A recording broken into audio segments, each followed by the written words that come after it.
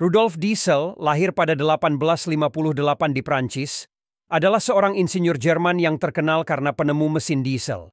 Ia mengembangkan mesin ini sebagai alternatif yang lebih efisien untuk mesin uap yang umum digunakan pada masanya. Mesin diesel menggunakan tekanan tinggi untuk menyala tanpa penggunaan busi, memungkinkan pemanfaatan bahan bakar yang lebih efisien. Rudolf Diesel meninggal dunia pada tanggal 29 September 1913.